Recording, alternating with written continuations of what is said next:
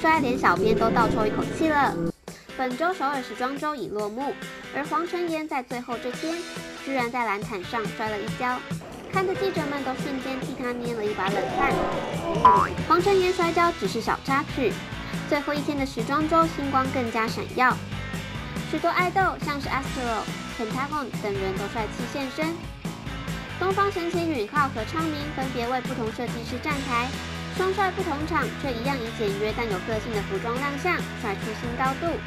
Red Velvet 这期一连换了两套服装，都以 All Black 登场，展现她干练又冷艳的女性美。